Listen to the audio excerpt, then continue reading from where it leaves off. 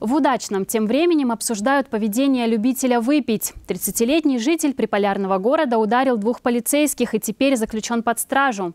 За неадекватный поступок мужчина рискует заплатить штраф до 200 тысяч рублей, а может и на 5 лет попасть за решетку. Следователи Мирнинского района возбудили уголовное дело.